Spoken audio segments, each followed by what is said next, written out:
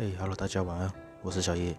那再过个几天，东京偶像计划就要关伺服器了。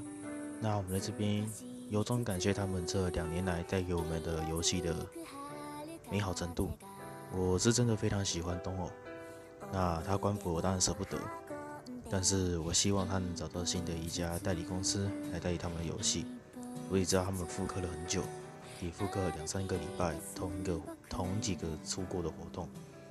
那虽然我等级不高，也只玩了半年而已。那我希望这游戏能好好维持下去。那再来讲讲天花板剑好了。天花板剑不太好啊，它复刻了很久了，复刻了这么久，还不是一样面临关服？为什么不能果断果决一点的关伺服器呢？我这边也没有。多点立立场去讲他们，对我真的没有别的立场去讲他们说，诶，为什么不找官服？为什么要让玩家这么难过、这么生气，一直在复刻？你复刻这么久，真的有对玩家比较好吗？你这样只是对新刚入手新的玩家比较好过而已。啊，我们这些老玩家，你要怎么负责对我们？哦，那你现在官服了，两千五百颗石头，我真的没有意见。呃，送一些礼物啊什么的，好好让我们在最后的那一个月好好过，那我们就没什么关系了。再来，我们聊聊七日之都。关于七日之都官服的消息啊，很可惜的是租约到期，就是租约到期的意思就是代理商没办法再跟他们续约啊。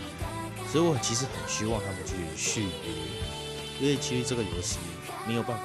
有一个游戏来取代他们这种游戏的玩法，以七天为一个轮回，然后会有各种各样的剧情线，这是七日之路的特色。然后，这然角色我并不是怎么在意，我还是拿了很多武装，氪了也不少金，那也蛮过了几次月卡。对，就失望的七日之都竟然这时候关服，蛮难过。加上这三个游戏一起来，我会觉得有些更难过。这下当下心情已经打碎我的心了吧？再来，这已经出很多新游戏了。虽然我不觉得这些新游戏有办法跟得上他们三个的特色，然后虽然最近有一款新游戏有打动一点。点，对这三个游戏可能还可以代替他们的一个情景又出来，那就是梦境的梦境。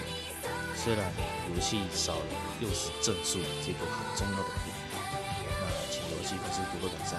因为刚新出，那台服刚新出，对，我不确定日服有没有事。那台服呢，我只能说操作做的很，差没有六十帧。没有六十帧，我是觉得这游戏其实差了一点，就是角色的画风、语音跟动态上，其实我觉得并不。输那些，虽然角色的动态真的比较少，但是我是觉得呃不如小补。既然游戏一说真的，其实你只要愿意出，其实很多玩家都愿意玩。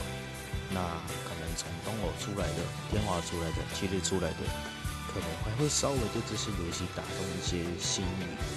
那我个人觉得这个游戏的可玩性算高。那再来也就没什么新游戏可以，因为最近新游戏真的打不太动我的心。那对之前那些那三个这么快的游戏，我会尽量找出日本版。那七日制度就不一样，它是大陆游戏。那近期我可能会走去的大陆版来玩玩看。再来，希望那边有繁体中文可以翻译。那像是日版的东偶，我就会再考虑看看。